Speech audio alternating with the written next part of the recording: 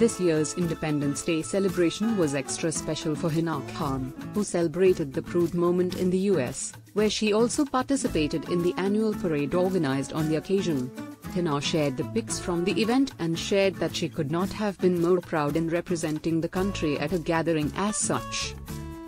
For the parade event organized in New York, Hina opted for a traditional sari.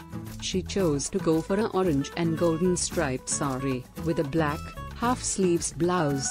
She tied her hair in a bun and looked every bit as elegant as the diva she is.